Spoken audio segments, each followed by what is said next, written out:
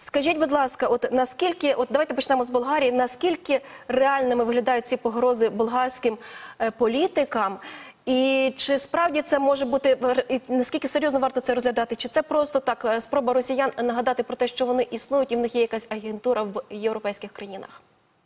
Е, Ну, я думаю, що це серйозні, е, скажімо так, небезпеки для болгарських політиків, оскільки Болгарія, знаєте, це дуже така дивна країна. З одного боку, вона, як ми кажемо, доволі ватна. Е, Велика кількість населення е, не дуже підтримує НАТО. Дивиться на цю війну, що буцімто Україна, Америка і НАТО більш винні ніж Росія. Але з іншого боку, велика кількість болгарських політиків, ну і керівництво е, цієї країни нас дуже підтримують. Ця країна не афішує дуже часто те, що вона нам надає, але насправді вона є дуже важливою з точки зору того. Ну, Болгарія є найбільшим виробником боєприпасів радянського зразка, і з самого початку широкомасштабного вторгнення вона допомагала нам. І власне тому е, і е, є така активність російських спецслужб. Хочу нагадати, що в 2022 році відбув е, були здійснені, е, скажімо так, е, терористичні атаки на е, фірму одного з бол- бол- болгарських е, власників цих цієї зброї, точніше боєприпасів. І це вже друга спро- спро- спроба зарвати ці склади. А до того, у 2015 році, е, на нього зчинили напад хімічною речовиною, можливо, навіть новачком. Е, Також, е, за словами Хрис- Христі Грозєва, який є шефом Білінкет, міжнародної розслідувальної організації, яка викривала і отру- отруєння Навального, і отруєння, спробу отруєння Скрипалів в Британії. В 2016 році російські спецслужби намагалися е, вчинити е, переворот в цій країні. І періодично з Болгарії викидають російських шпигунів. От буквально е, сьогодні з'явилася інформація, що перед судом перестали три громадянина Болгарії, які в Британії були частиною шпигунської мережі Російської Федерації. Тому так е, це небезпечно. Е, Росіяни дуже, скажімо так, фривольно себе поводять в цій державі. Е, Там є інтереси, які вони хочуть е, свої реалізувати, які будуть шкодити як е, Болгарії, болгарській державі і народу, так власне і Україні. Олександр, хотіла запитати, дивіться, наскільки реально їм реалізувати подібні погрози? Ну тому що міністр оборони це топ-персона цієї країни, і це не так просто, якби зробити вчинити замах на топ-посадовця в країні. І скажіть, будь ласка, на вашу думку, насправді, який відсоток ми знаємо, так ви вже сказали про, про російські наративи і про підтримку Росії, так там е, місцевим населенням. Але який відсоток, наприклад, може бути присутній росіян? Е, в самій Болгарії, які можуть співпрацювати з російською розвідкою, працювати, шпигувати на користь Рашки. Е, Я думаю, що число може бути дуже е, високим, враховуючи передусім це русофільство, яке ще з часів там знаєте, що Балкани звільнялися в тому числі за допомогою російської імперської зброї. Ну і плюс, звичайно, Болгарія була частиною Варшавського договору, і вся ця пропаганда і міфи е, радянські імперські вони діють. І по-друге, це країна доволі бідна. І е, власне тому або з ідеологічних, або з фінансових причин люди можуть йти слугувати е, злочинному путінському режиму. Щодо того, чи можуть дотягнутися до міністра оборони, ну ви знаєте, що в 2021 році заарештували п'ять е, колишніх співробітників і Міністерства оборони і збройних сил Болгарії, які були членами цієї організації шпигунської російською. Тому звичайно, що інфільтрація російських агентів в такі безпекові структури. Вона доволі висока, і власне тому небезпека, і в тому числі міністра оборони, може бути до- до- доволі доволі реальною. Тому звичайно, що треба е, реагувати і захищати. Я вже не кажу про політиків, які не мають ну зазвичай не мають охорони, і вони працюють не е, скажімо так в більш ем, вільному режимі. Звичайно, що в них є офіси, вони пересуваються вулицями, зустрічаються з виборцями. Тому звичайно, що вони можуть бути е, ціллю такої атаки. Хотіла поцікавитися, чи може це якось в країні ну, в Болгарії переглянутись програма? Вони заявили про участь про приєднання до програми Європейського оборонного агентства. Це е, стосовно закупівлі боєприпасів для України. Це може зараз якось стопнути е, Болгарію на цьому шляху і, наприклад, відмовитися від участі в цій програмі чи ні? Ні, я думаю, абсолютно ні. Е, Вони розуміють, я мене зі росіяни, що ем, Болгарія як країн-член НАТО і європейської спільноти, то вона буде в лінії, грубо кажучи, не, виходити за ті рамки, які визначені.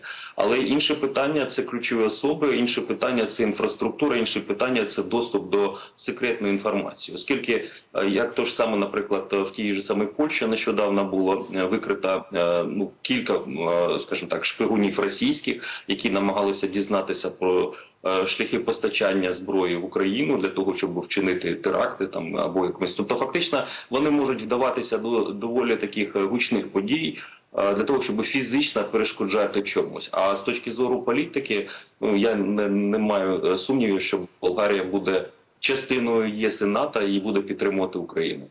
Тепер ще до однієї теми. Це і тема стосовно того, що США намагаються вплинути і дотиснути Іран стосовно того, щоб вони не продавали шахеди і компоненти до них е, росіянам. Скажіть, будь ласка, чи є це однозначною визнанням тим, що шахеди виявляються ефективними у війні тут, яку веде Росія на території України?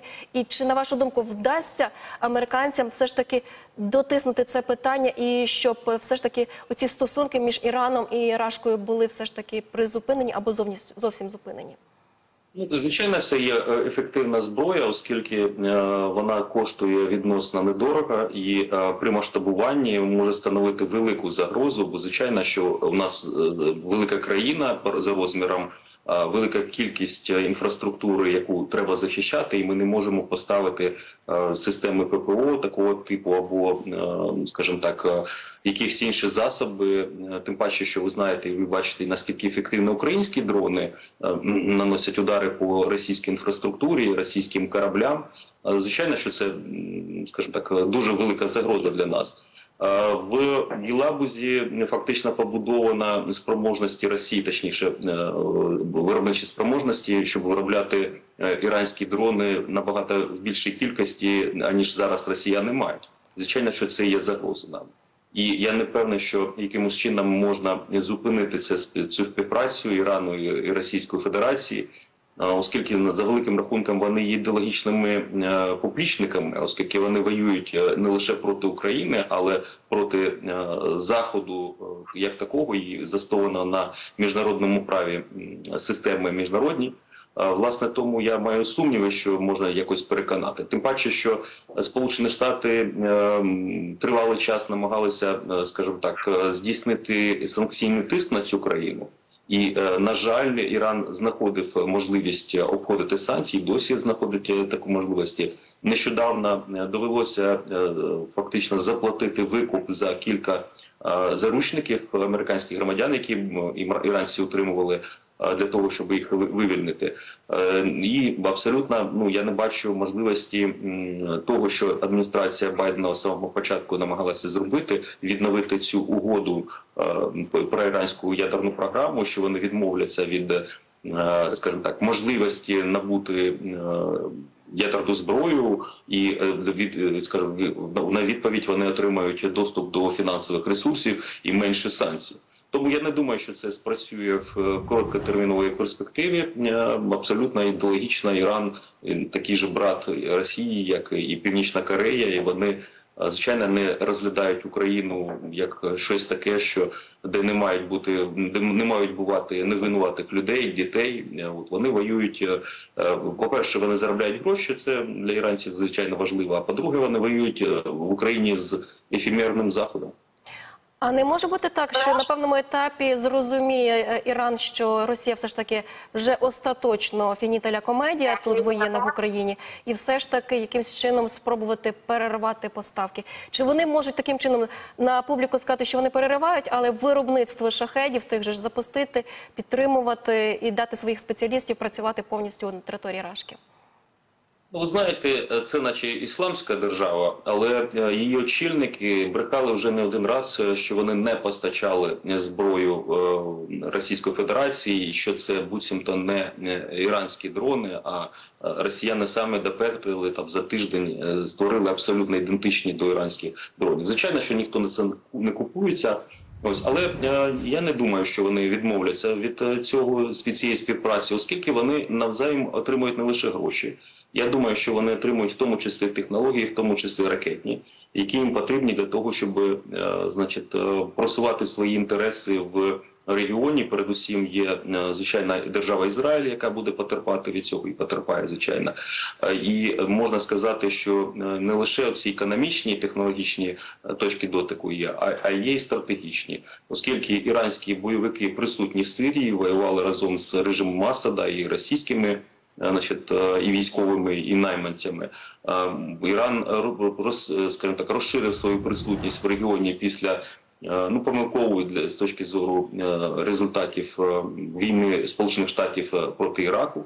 І власне він хоче ну більшої, скажімо так, е, більшої влади в регіоні, більших можливостей в регіоні. І Російській Федерації такі, е, скажімо так, інтереси вони співпадають, то вони один одного будуть підтримувати. Так що я не вірю в те, що Іран е, відступиться від цього.